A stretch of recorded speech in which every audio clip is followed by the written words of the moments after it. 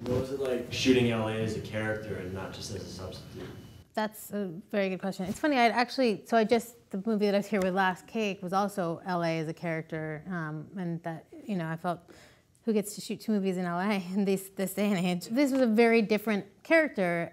That there were, you know, similarities and differences. In this case, you know, we wanted the saturation there's just a blatant call out to sort of 90s music videos and 90s hip hop. And so we're looking for bright colors, sort of poppy, Randy's Donuts. It was really Inglewood as a character almost more than LA.